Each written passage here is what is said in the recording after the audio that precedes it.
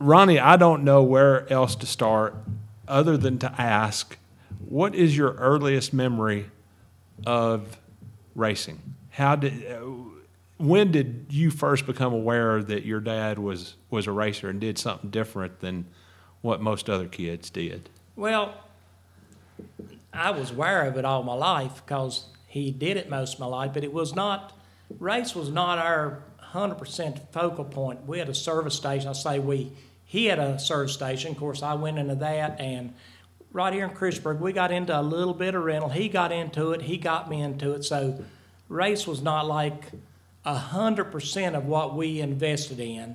And we'll get into it. I, at the time, I didn't like it, what he was doing.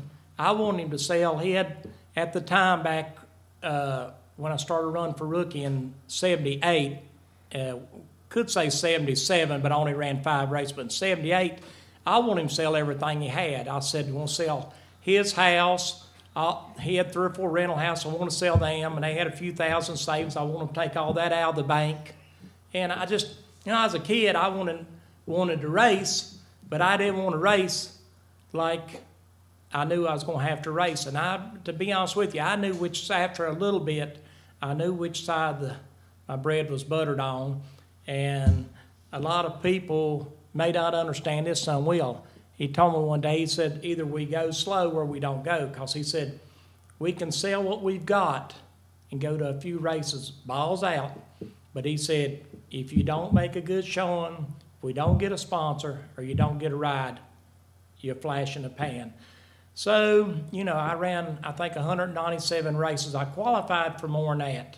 Uh, Buddy Arrington a race at Wilkesboro. I let him start the car, so technically that gives Buddy Arrington credit for my position. I went to um, uh, Dover, Delaware, and a guy by the name of Joe Booher lost his life driving Daytona dash cars. He had driven my cars a few times, and I had to get into you a funny story about Joe Booher. Y'all love it, but anyway, uh, so the few races I probably qualified for around 200 races, and it just got to getting tough, more expensive, more expensive, and I seen the handwriting on the wall. So we'll get into it later about when I kind of give it up, went to late models. But yeah, I, I kind of knew early on I wanted to race. Um, I don't really think it had anything to do with my dad driving a race car. If he hadn't been driving, more than likely I'd been like thousands of other guys. I'd have been a mini stock or a, a late model or a limited or a dirt car. I'd have never got, if it hadn't been for my dad, I'd never got to drive in the Cup Series. So I was not proud of a lot of uh, what our outcome was in the long run, but I guess you can say I got to go to the dance in a matter of speaking. Well, when uh, when you first knew of your dad's business, which, which was Jabe's Gulf Station, right? Right. 24 hours a day, right? Right, that's I right. assume you worked there. Yeah, just like everybody else. I, you know, I hung around the gas station, worked there, and actually, when like a lot of people my age or older, when you first started working there, you didn't get paid. You hung- I mean, you know, you hung out and you did your thing. You know, I mowed the yard, and you didn't get paid for mowing the yard, and you washed your car, you didn't get paid for washing the car, and you go out to the service station, you hang out two or three hours, clean the windshields, gauge your tires, put tires on. Even when I was 15, you didn't get paid. Now later on, I did, but it was a deal. You just did what you had to do to help the family out at the time. All right, well, during that time, as a teenager, and let's say your high school years, did you have any aspirations to go and do anything else except go into racing? No. Nothing else? no that's all I dreamed of. That's all I thought about. I just, you know, like I said, we're going back like a lot of other people dreamed of doing, but the opportunity that I had that a lot of other people didn't have was when I started. We was just talking. Uh, Jimmy Cox sitting here now to help my dad, crew chief for him for years. The the thing, Charlie Roberts in Alabama, I seen him on. Uh, did a thing on Facebook, and he was talking about how he struggled. And I talked to him at the uh, Stocks for Tots a couple years ago, and he did it for several years. And he was talking about how much money it cost him when you finally get out. You know, so when I got in, you know, wanted to do it, I didn't, even though I'd been around it, I thought it was going to be easier than what it was. I thought, you know, I'm a young cat. I'm going to get in here. I'm going to get a sponsor. We'll get to running good. I could not understand it then. Ned Jarrett, Steve, Steve Byrnes, um, Larry Nuber, uh, Jenkins, all these people like me. Of course, my dad was predecessor. He was ahead of me, so they knew him before me. Well, naturally, that made it easier for me to be friends with them, and they kind of got a deal. Ned said, "You know, we want to try to help you get a sponsor."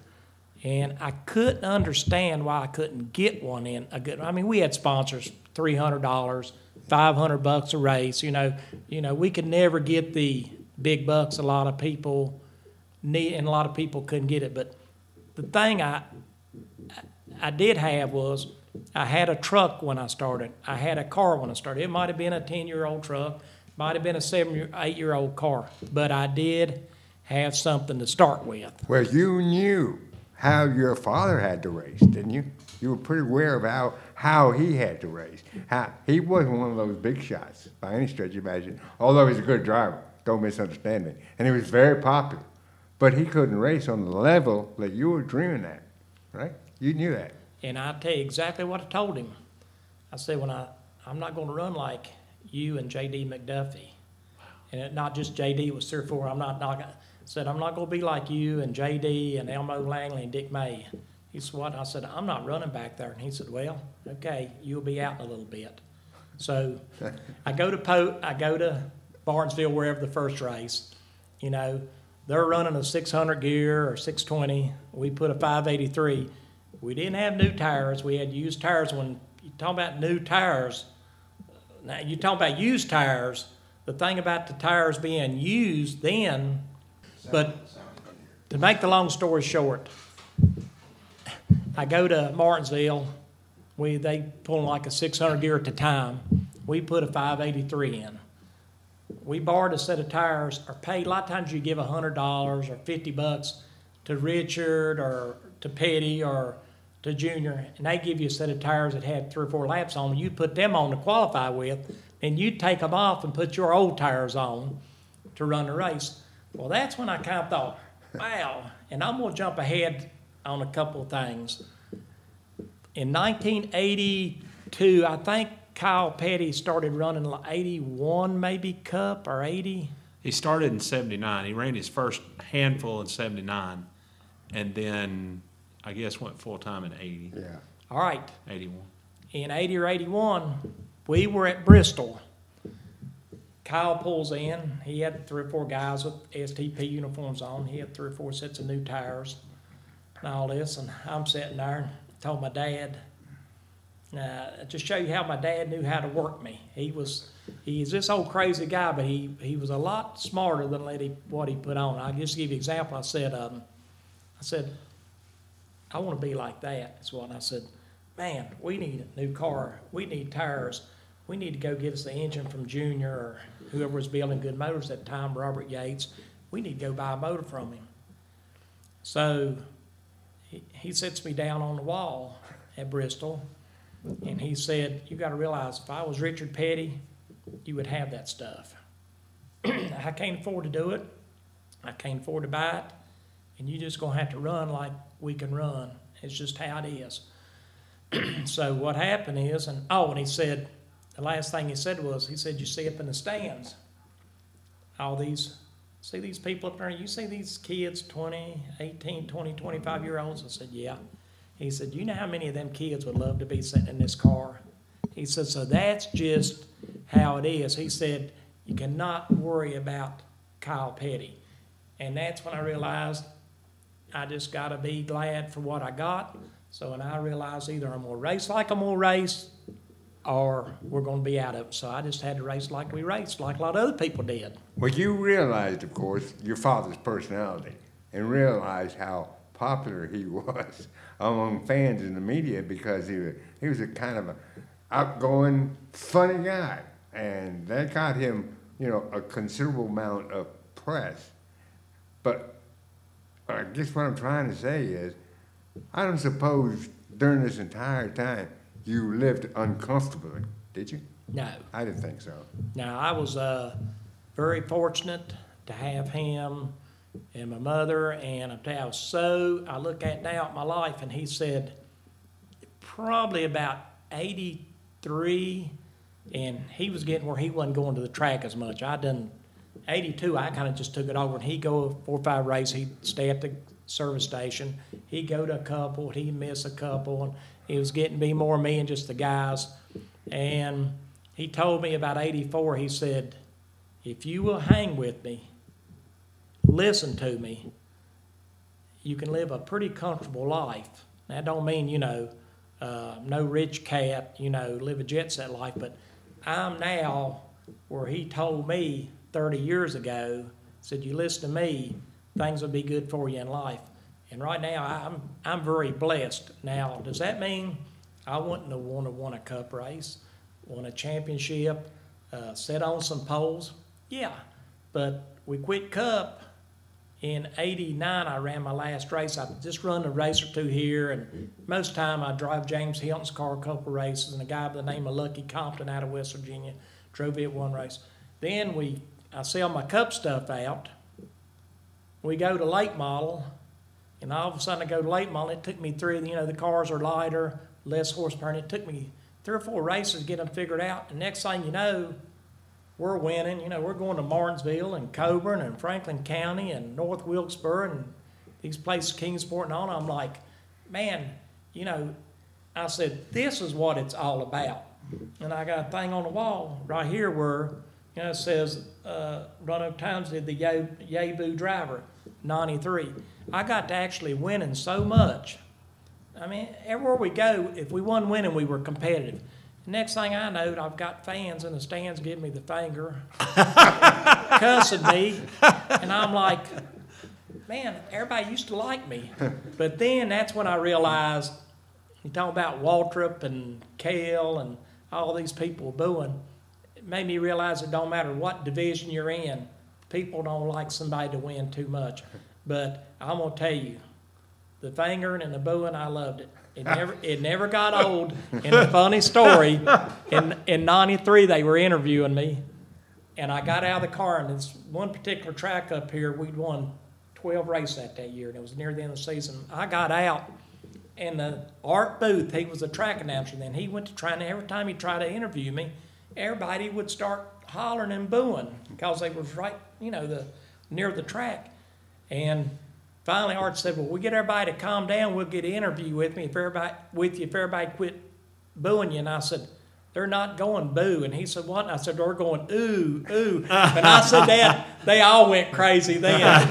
but you know, so I got to experience when I quit Cup, the last ten or twelve years of my life. I got to experience something, and I never. You know, you got Jody Ridley and Gary Ballou and Rich Bickle and Dick Trickle. Of course, Dick ran pretty good there at times when he was in that Miller car But I was so wrapped up in cup racing that I didn't, I, it sounds silly, that I didn't know any other racing existed. I mean, the Busch, they were there on Saturdays to run a race. I knew about it. But I mean, I stayed at my shop in Christiansburg with the guys, and I didn't, you know, I knew of Jody Ridley and Dick Trickle. I've heard of them. You know, everybody heard of Dick Trickle. But you kind of think, man, these guys run Cup. They're winning so much at these other tracks. You know, you hear they win 300 races, 500, 1,000 races, one everywhere, snowball derbies, all stuff. I'm like, how come they can't do it in Cup? Well, I figured it out. Yeah. I did it reverse. I started out kind of we run the baby grands, which Daytona Dash for a couple years, about 20 races. Sat on a pole or two, led some races, fell out, blowed motors on, then went into Cup. And it just went on, and we did the best we could do. And then, then I realized now I see what so many other guys went through not being able to win in Cup. But the, the whole thing about it is, is we got to I got, you know, people tell now, I mean, they come up now, there'll be people 25, and their dad will be with them now, say, he was rookie of the year and said, Dad, and I go, really? and you got to, we're talking about young people, 20, 25. He said, he used to race with Dale Earnhardt and Richard Petty. You really raced with Dale Earnhardt? I said, well, I was on the same track. I put it you, that way. But Yeah. the, the whole gig is, I can say I did race with Earnhardt, Petty, Yarborough, uh, you know, Johnny Rutherford, Indy people, and we get on to it. Don't let's not forget. I'll tell you the last time that I ever talked to Dale Earnhardt Jr. and I'm gonna tell you the last time I ever talked to Dale Earnhardt Sr. and it's both of them is senior moment is a funny one. I never talked to him, but we'd be garaged across from each other. A lot of people know where they, way the points ran. Y'all, they take one side going down the garage like at Talladega, and you have first, second, third, fourth, fifth, and cup, and go then. Well, then you come all the way up the other side of the garage.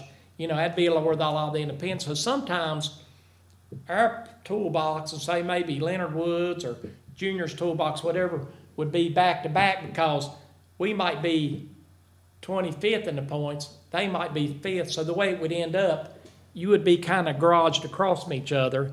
And I'd speak to Earnhardt a little bit then, you know, because he'd be sitting on the table.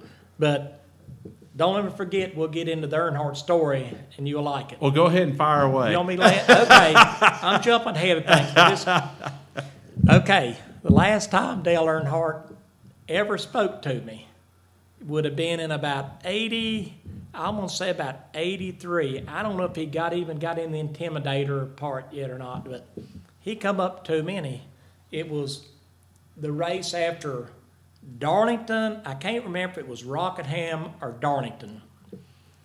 So he comes up to me and he says, Ronnie, I need to talk to you a minute. This was the next week after that race.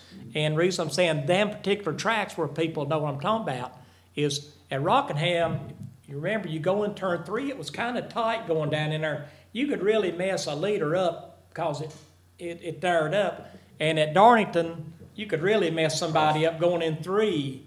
Okay, Dale comes up to me, he said, I talked to you man. I said, yeah. And I thought, what in the world? And he said, Boy, you sure crowded me several times last week. And I said, What? And he said, I come up on and I said, Man, you just be the right place and was up on the track and you you blocked me. And I said, Yeah, you rubbed me a couple times. You know, the car, I tried not to tear it up. And he, you rubbed me a couple times. He said, You taking a little bit too much room. And I said, All right, I know what I'll do from now on. I said, Let's see. Track two lanes wide. I said, Yeah. And I said, Well, next from now on, what I'll do, I'll run halfway on the apron, and I'll give you a, a lane and a half, and that gives me a half a lane on the apron. That'd be good. He looked at me and shook his head, and he, I could tell what he was wanting to tell me. He just turned and walked off. This last time, last time he ever spoke to me, he was, he was steaming. I mean, Wow, he didn't yeah. like. Well, I thought I was giving him enough room, but I'm telling you, he was one of the better. Anybody knows he's one of the greater ones. But he's one of them guys. You give him an inch, he'd take a mile. I mean, man, I, I did. I, you know, when he come up on you, that's where he got that intimidator. He would just kind of want to rally, even if he's a little guy. He would have so much respect for you, but you know, he wanted part of your lane and all of his. All right, I'm gonna tell you the last time I ever talked to Dale Earnhardt Jr. Most Yeah. recent time you talked to Dale Earnhardt Jr. Well, most recent was 96 or something. Hey, I'm too far down the pecking order. But anyway, so what I was going to tell you, we was at Martinsville, and Dale Earnhardt Jr. was running late model stock cars. I'm going to say it was 96, n- 90, 95, 96, somewhere along. But he had a, best I remember, a red Camaro or something running it. He comes over to me, little old bitty skinny feller then. He says, now you got to realize, I'd been to Martinsville late model. We sat on a pole four times in like six years, won a race there. So we sat on a pole that day. So he comes up to me, and I guess it was, I don't remember it was, it had to be before qualifying. He said, My crew guy told me you get a, ran here pretty good late model car. And I said, Well, I'm doing late model. And he said, Yeah. And he said, Would you follow me for a few laps? I said, well, sure. And I said, then I'm going to motion you by, and then I'm going to follow you for a few laps. And I said, okay, just tell me what I'm doing wrong getting in the corner and all. Okay, so we go out, run a few laps, and he was pretty slow. I mean, you know, he was learning. So he's pretty slow. He gets out behind me, and I look up, and he get, I let him catch up and run a lap or two, and I'd be ten car lengths ahead of him. I'd let him catch up, get behind him, come over, and he said, "What am I doing wrong?" And I said, "You need you need to let your car hang out a little bit more getting in." And I said, "Go down there instead of slamming the brakes on, kind of kind of roll into your brake. Don't slam it so hard, and get you a good arc in the corner." And I just tell him, you know, things like that. Okay, okay. And he said, he said, well, I tell you one thing. He said, your car's got a whole lot more horsepower than mine does. And the guy with me was a very, and he, if he would ever got in Cup about 20 years later, he could have been a Jake Elder or a M. And this guy was smart. He didn't start racing till about 90 or 91. He, he helped the team before he helped me a year. Started me, and he's, but he did not like Dale Earnhardt at all. And I said, uh, Mike said, well, why don't you go to NASCAR and get them make a rule change like for your dad? That's about the, see, this was about the time, maybe if y'all remember, Jeff Gordon was winning a lot, and they made some of the Chevrolets seem like to me take a little bit off their spoiler. And Earnhardt said, We're having enough trouble keeping up now without them making rule changes to us. And that's why Mike said it. And when he walked off, I told Mike, I said, You you shouldn't have said that. And he said, Well, he come over here asking you for help. And I said, Yeah, but I don't care if it is Dale Earnhardt, Dale Earnhardt Jr., that's his father. And I said, and Mike got a little mad at me for saying that, but you know, I always thought, I don't care who it is, you have a little bit of respect for somebody's dad. But he just didn't think when he said, but that's the last conversation was Junior, and the last one with Earnhardt Senior. I don't know how to go from Dale Earnhardt Jr. back to 78. I'm jumping ahead too far. Um, um, we can edit. How did you, how did you make the decision to run for Rookie of the Year? Well, it, I had the car, and when I say I had a car, we had a truck my dad got from Junior Johnson in seventy-two, I believe. And Junior now run it, I think Lee, they hauled Leroy's car on it and some back in the day, I don't know who else, but the car they, truck they used also, that's a truck I used till eighty-one. Had, so I had a truck. I had a car and it was an ex Bobby Allison car, and everybody, you know, people now say, dang, you ought to run better than a Bobby Allison car. Well, dang, this was 77. The car was built in like 71 or 2. And Bobby run it for a year or two. James Hylton got it from Bobby. He'd run it for a year or two. And my dad got it, and he run it for a, a year or two, something like it. And then, you know, Earl Brooks drove it, and Dick May, and everybody you can think of would drive it. So I had the car and I had the truck, and you know we talked about it, and we said, "My dad said we're going to do it. We'll do it now." So it was just technically we honestly should not have won Rookie of the Year. The guy that should have won it, there was two or three. I got to listen. There was twenty people. I got the still got the original rundown from Daytona. There was 20 people in 1978 started running for Rookie of the Year. Roland Wlodyka, uh, Chuck Bown, Roger Hamby. I mean, there was some pretty cotton picking big names in there. And my dad said, "We can't outrun these guys. We got to try to outsmart them." And this is where I'm gonna give my dad credit. So we didn't do. I bought a car. We used that car for the four or five race I ran in 77. 78, we ran that car a good bit, but we had got a car off of Richard Childress, Childress that he had ran. I don't know if he ran it for two years or what, but it was an old banjo, Monte Carlo, uh, a number three car. It had actually, I think, if you remember, it had Molly Black Gold or something on the quarter panels, and uh, Anderson Webb trucking or something. We bought that car from Richard. So we run that car in 78 and the Chevelle. And it was just a deal. We had used stuff.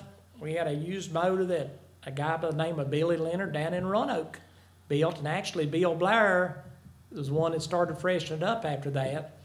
So we just, we just ran, did the best we could, and what happened? Two-thirds of them run out of money. The other two or three crashed herself out till they just didn't have anything. Roland Wlodyka should have won it. He was with uh, Rod Osterlund. He wrecked. He just wanted to, you know, he tried to run like he was a Cale Yarborough, but he didn't nothing against him. He didn't have the experience. So he crashed out, crashed out. And Roger Hamby was the next man. And Roger Hamby was like that with Junior Johnson. And the reason he was like that, it wasn't that Junior liked Roger so much, but he liked his Uncle Ben's. And I mean, just tell like, like it is. And I stopped by Rogers about a year ago. Hadn't seen him for 30 years. And he told us, he said, I spent about $200,000 with Junior. Now, we're talking about 1978, so I don't know what that is. Probably, what, a million dollars by today's standards? I'd say it'd be more than that. Yeah. Yeah. We spent 70 some thousand dollars on one rookie of the year. No he spent, kidding. Yeah, he spent almost triple what we did. And I'm going to tell you, he, when I stopped by and saw him, he didn't know who I was. I go in his shop, hey, what can he's got a little muffler shop in Wilkesboro. I go in there and I said, I said, uh, how you doing, Roger? All right. What can I do for you? And I said, I got a 75 Monte Carlo, which is what I started. Well, I started with Chevelle, but the Monte Carlo is what we won Rookie of the Year with. So I got a 75 Monte Carlo. I wonder if you can put an exhaust system on it. He said, what? I said, it's old cup car. Cup car. And I said, yeah, can you put exhaust system on it? So I need to look at it. I said, it's, I said, it's Ronnie Thomas's old car at, you run against for Rookie of the Year. And he said, Oh yeah, I remember Ron. He said, "Boy, he got lucky. He won that thing." And he went on, carrying on. He said, "He said I hadn't had some trouble." And I said, "I better butt in before he really lays into me worse. You know, can't drive and all this." So I got in there. and said, "Hey," I said, "I'm Ron." He said, "What?" I'm Ron. He said, "What the world?" So you know, we got to laughing, joking about it. And he said, "Really, I should have beat you." I said, Well, Roger, you spent two or three times what we did. And he said, We couldn't understand with Junior helping you why you didn't. And he said, Well, we just had trouble. On, I'll tell you what it was. He had transmissions and he kept busting the tail houses. This is where having my dad being on the other end would help him. He was running these lightweight transmission tail houses. We had the old stuff that you run steel, which was heavy. Roger was trying to save a little bit of weight. And about the third or fourth time that broke, he fell out of race. We was going down the road. My dad said, Why in the world don't Hamby quit running those lightweight parts and put some heavy stuff in? So technically, I would say that transmissions cost Roger Rookie of the Year. But it don't make no difference. But see, we would outrun Roger some. He would outrun me. But he had way, I, you know, he was talking about should have done this and that. But I'm going to tell you, with the equipment that he had against what I had, I should have never outrun Roger. Right. And I seen a thing with Ken Squier on uh, YouTube the other day. Guy showed me, and we was at Ontario the last race, and I passed Roger, and you know, and 20 laps later he passed me. We was right there together, and I was one point ahead of him. I thought, and my dad told me on the radio. He said, "Boy, don't wreck because he finished for you know he could beat." So we was kind of running hard enough to outrun him, but I knew who who we were wanting to beat to get the uh, rookie of the year. So it just worked out. It worked out, and we won it. But we shouldn't have won it, but we did win. What was your record in '78? Do you remember your record? Uh, I don't know. It's uh, far down. I don't know if I'd find it or not. But yeah, I don't. Re- you know, I only had, I think, seven or eight top tens. Um, you know, we, like I said, would I say I'm ashamed of the way I? Yeah, you know, people say don't say that, but I was. You know, I wanted. I'm no different than any other kid. I wanted to. I wasn't even to the point. I, I got there after a year or two. I didn't want to win. I just wanted to run decent, and I just got so dag blame sick of struggling. And finally, just about 84, I just said, you know, Bobby Allison comes to me at Bristol right after the deal with my dad. He'd sit down and talk to me. You know, how many, if I was Richard, you'd have the same stuff Kyle does. How many how many of these kids in the stands would love to be sitting in this car? Yep, he's right. He sends Bobby Allison down. I went, Dad used this reverse psychology all the time on me. He's Bobby comes down and said, I need to talk to you, Ronnie. What the heck? As soon as he walked off, I knew what the deal was. He said, Sit down. I said, Okay. He said, Ronnie, you cannot break your dad. And I said, What? He said, You got to run the best you can run with what you got. And if you get a sponsor, if it happens, it happens. It don't, it don't.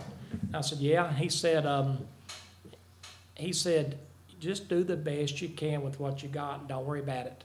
And I said, Okay, well, I tell you what, you take my car and run tomorrow night. I'll take yours. And he just shook his head like that. You know, I guess thinking I'm trying to help you, but Yeah, yeah, but yeah. you know, I saw where he was coming from, but I knew then that my dad had went and talked to Bobby and got him to come down and try to. So I know. That's that's the way that went. So I did it till I got tired of it, and I wasn't going to go broke. And I've seen so many people talk about go back to my dad, how things are. I'm not going to mention any names, but I can tell you, I can mention three names, but I won't. People that ran Cup, that ran pretty good, and they're living on a eight hundred dollar a month, thousand dollar a month Social Security check. No disrespect to them, but I mean, they're like, we're going to run. I can tell you a guy right now. I mentioned his name because he's told me, and he's Irvin Brooks, which is Earl Brooks' son.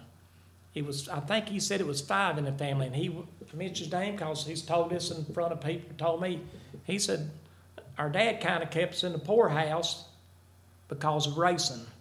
He was going to race, and he told me, he said, I never forget, we didn't have anything much. And a set of headers come in from Holman and Moody or Gabler or somebody. They were seven hundred dollars. Now we're talking about back in the early seventies or something. He said seven hundred bucks, and he said, I'm like, you know, and he said, mom was working a job to help him race. And I remember he said his mom saying seven hundred dollars for a set of headers, which was a bunch of money. But I'm just saying, Earl, I, I don't know. Now Earl might have had some money, you know, at the end. I'm just saying at the time, but Earl wanted to race, and Irvin just said he was going to race, hell or high water, and whatever took from the family. So my dad did the opposite. We're going to race so hard, but we're going to put some in the kitty. Now there's people now would probably say, well, you should have took the kitty and bought a Junior Johnson motor and tires, but there was not enough, you know, it would it was this much coming in and it would have been that much going out. So it's no way we could financially and physically do it. So here I am, you know, 66 years old and life's pretty good and no complaints. Well, Earl Brooks told me that same story in an interview once. So you're 100% right about Earl and his racing. He told me, he said, I could give my family a pretty good living. I cut this out, but I don't want to cut it. Y- You know what it is? I- I'm gonna tell you, it's, me the same thing. Well, I've never drank, never done drugs, never been a smoker. It's three things I've done good in life. But I'm gonna tell you, racing is an addiction. I mean, it is just a plain out addiction, and and you know, if it hadn't been, if it would have been up to me when I first started, and not up to my dad, uh, some of the places still have them now. A few of the rental places, we wouldn't have them. I'd have got rid of everything. You know, I wanted heck fire. I wanted, I my mom's clothes, everything. Wouldn't make no difference because I wanted to race that bad. But I had, he had to keep me in check, and he done a pretty good job of it. So yeah, the record's not going to show. It does in late model. I done good, but what I found, we go around to these get-togethers now.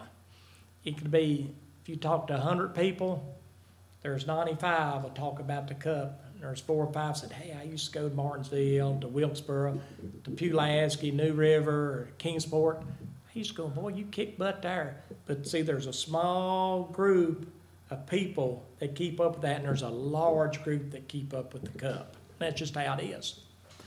In all of that time that you were racing the way that you had to because of finances, were there times where you went and talked to other team owners about, hey, give me a shot, uh, keep an eye on me, or maybe if there wasn't a ride actually open, Hey, I'd be interested. Yeah, I can give you both big ones. I talked to Harry Ranier at Atlanta in eighty-one. And I think, if I'm not mistaken, Benny Parsons might have been, uh, driving white number twenty-eight.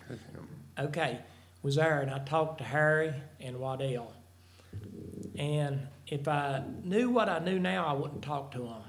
Cause, you know, I kinda looking, I'm thinking, man, I wanna do it, can't y'all see? But I, they didn't see, they knew I wanted to do it, but they had to see those stats, Yeah. those results. Yeah. So Harry said, I'll talk to Waddell about it. Well, in all honesty, he probably more than likely didn't even talk to him. That's fine, ain't no problem. Uh, the biggest, Junior Johnson, eighty, whenever Neil Bonnett and got the Budweiser deal, was that eighty-three or four? He had it in '83, but he didn't start driving for junior until '84. All right, this is when he was with Junior. I got with Junior, I went down there, and he said, Ron, I'm gonna talk to Budweiser for you. For some reason, Junior took a liking to me. I don't know if it was my dad to start with or what, but, you know, I've been down Junior's a half a dozen times, and what was funny, when I went to Junior's, there was nobody there most of the time. I went up to his house two or three times while he was eating, him and Flossie. Trying to say that he had a sister maybe afflicted, I might have been wrong, in a wheelchair, and he had a brother by the name of Fred, I believe. So I'd go up there and, you know, I'd go up there and, you know, go up, I'd get, what I'd do, I'd go down and get parts.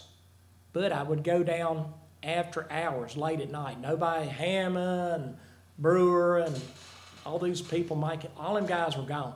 Go down there and you bring some cash, and you know, you get a set of heads and used crank and uh, road or something. You know, Junior said, ah, "Give me two hundred dollars," and you know, he liked that greenback, so you go down and give him money and get stuff from him like that. But Junior said, "I'm gonna talk to Budweiser for you." I really feel like, honestly, that I think probably Jeff Hammond and Tim Brewer, honestly, I think he probably talked to him, and I feel like they probably said no. Because from what I understand, when he was talking about putting Darrell in the car, I don't think they wanted Darrell in the car. Am I right in saying that? Well, if they didn't want Darrell in the car, they didn't want me in their friggin', they didn't want me hauling their pit gas down the pit road. You know, they're the little wagon, so you Yeah. can figure where I'm coming from. And I said, Junior, man, just what I want to do, can we go to Wilkesboro somewhere and test? Just spend a day with me. He said, I'm gonna talk to Budweiser about giving you a chance. I said, I'm telling you, I can do it. Just give me a chance. So a few days goes by. He didn't call. He didn't. I didn't go down. He called me and he said, "I was going to tell you, I talked to Budweiser. They're going to go with Neil Bonnett." That kind of took the steam out. But I look back now, I can understand why. I could understand why maybe some of his crew guys wanted. it. The other one was I really screwed up. Was Larry McClure calls me nine o'clock on a Monday morning, and I think it was the week that they put Tommy Ellis in the car at Bristol. And not positive, but I think it was Tommy. Larry calls me up and said, trying to find somebody to put in my car. He said, I talked to Junior. Junior said, give Ronnie Thomas a chance. The boy can drive. He just needs opportunity. I'm going to give you a chance. Here's where I goofed up. I didn't goof up, I screwed up. I was trying to tell him how to run his team. I'm thinking, afterwards, I'm telling a guy how to run his team that's out running me all the time. And uh, here's what I'm getting at. If y'all remember, he had, uh, I'm trying to say Mark Martin, Tommy Ellis, Lenny Pond, uh, Joe Ruttman. Do y'all remember? He went through a lot of, a lot of, y'all done on your show. I mean, he said, well, I can't remember if he was grasping for straws on y'all show, something like that, trying to find lightning in a bottle or something or other.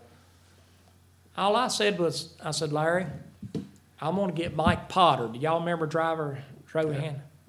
I said, I'm gonna get my track to the car at Bristol on Friday morning. Marshall Rawson was my crew guy then. I'll get a, somebody to come with him. I'm gonna get it to the track. I'll roll it off. I won't mess with the car no more. He said, I'm offering you an opportunity to drive. He said, I got Junior's Motors, Ronnie, and all, and I got new tires. That's what you've been wanting. I said, Yeah, but I'm just going to get it to the track. Well, why are you getting your car to the track? And I said, Larry, don't listen. I think you got internal problems. And he said, What? And I said, Why are you put all these drivers in and they're in there for a race or two or three or four and you kick them out? And I said, You've had some pretty darn good name drivers in there. And I said, I don't want to be in it a race or two and you kick me out.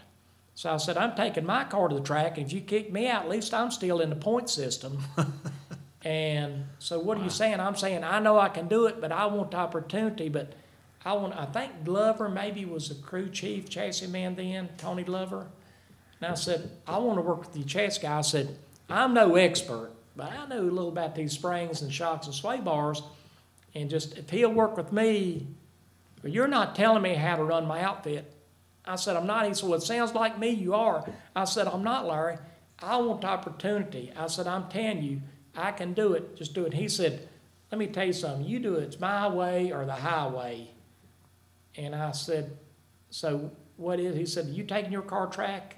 I said, Just go take it there and load. He said, Talk to you later. Click. That's the last time I ever talked to him. So more than likely, I feel like that was a big screw up on my part, but I didn't want to get the opportunity and, and something happened and get out. But the thing about it is, if I would have gotten an opportunity and I'd have just run eighth or tenth in the car, maybe led some laps, qualified good, who knows where it would have opened the door for me. I, I just really should have kept, kept my mouth shut, drove the car and shut up. I just went around it about it completely wrong. Too late now, though.